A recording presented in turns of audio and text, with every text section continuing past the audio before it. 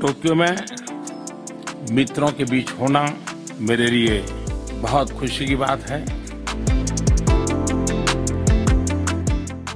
Quad Indo Pacific क्षेत्र के लिए एक कंस्ट्रक्टिव एजेंडा लेकर चल रहा है। इससे क्वाड की छवि एक फोर्स फॉर गुड के रूप में और भी सुदृढ़ होती जाएगी। Prime Minister, there's so much that our countries can and will do together, and I'm committed to uh, making U.S.-India partnership among the closest we have on earth.